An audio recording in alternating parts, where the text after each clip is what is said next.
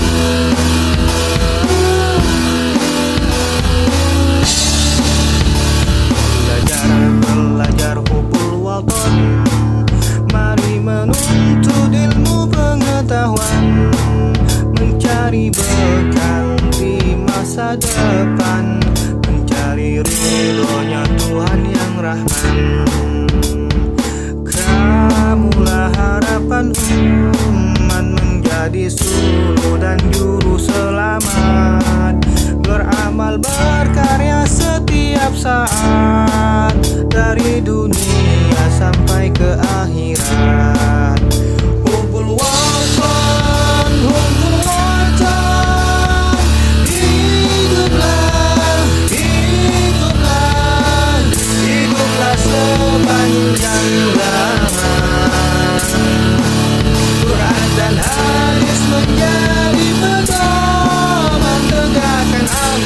Yeah, la la